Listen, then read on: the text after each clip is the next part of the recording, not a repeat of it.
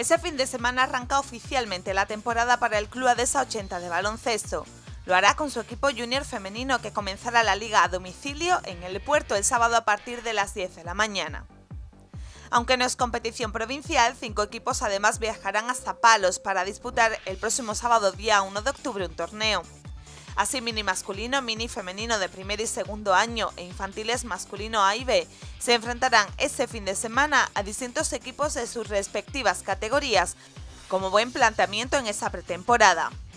Todos los equipos ya han echado a rodar en sus entrenamientos de cara a llegar a sus inicios ligueros en las mejores condiciones posible, ya que la temporada siempre es larga y surgen numerosos imprevistos por el camino. Unidos por un deporte, el baloncesto, numerosos niños y niñas vestirán durante esos meses la camiseta verde y blanca, para un total de 17 equipos federados, que será el total con los que cuenta este año el Club Adesa 80. Por delante meses de esfuerzo y duro trabajo, tanto por parte de entrenadores que siguen dedicando su tiempo de forma altruista, como de jugadores y jugadoras.